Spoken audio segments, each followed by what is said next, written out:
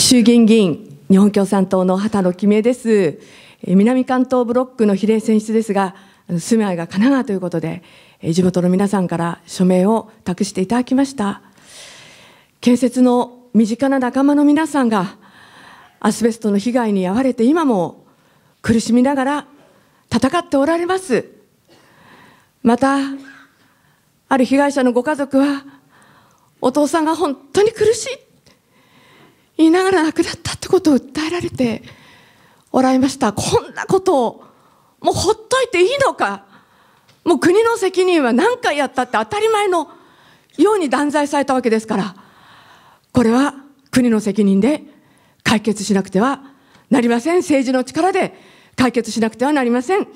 私もこの問題を国会で取り上げて追及してまいりますと同時にこの請願署名を超党派で必ず採決させるためにご一緒に頑張ってまいります。勝つまで頑張りましょう。タッチに勝ちましょう。共に頑張りましょう。ありがとうございました。ありがとうございます。よろしくお願いいたします。